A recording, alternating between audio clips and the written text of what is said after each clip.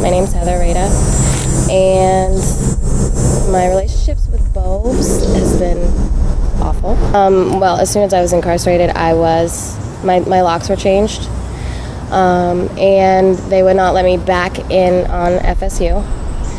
And then over the past eight months now, um, they proceeded to throw all of my stuff away. I never got an eviction notice. I never went to court for an eviction. Um, they just got rid of everything that I own and my kids own.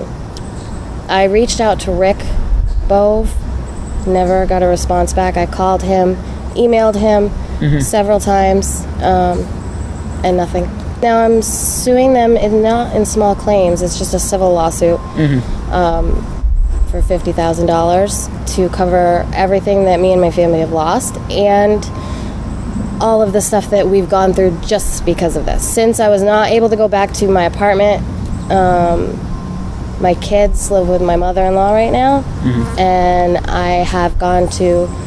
Now I'm in my second treatment facility, trying to get my children back so that we can move on with our lives. But this has been the ongoing process for the past almost year now. Um, trying to get everybody back together and things back together, and it's it's just been crazy. How do you put a, um, a price on any of this stuff? You know, like yeah, maybe I got my wedding dress, but I didn't get my baby books. You know, like baby bracelets, footprints, pictures that I don't have. Um, how do you put a price on that? You're never gonna go through that same exact birth again or have that same exact person. How do you price that? I reached out to legal aid. Legal aid cannot uh, represent you in a case like this. They can give you an idea of what you need to do, but they cannot represent you. Um, I can't. I'm not at a place right now where I can afford a lawyer. Um, CVOEO has tenants' rights, and I've talked to them, but again, that's not somebody that can represent you.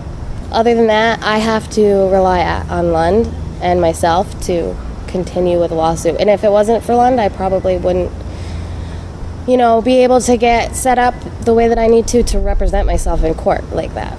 It needs to be looked at by a big picture, and in a big picture, because I'm just one of many that this has been done to that are saying something about it. How many aren't?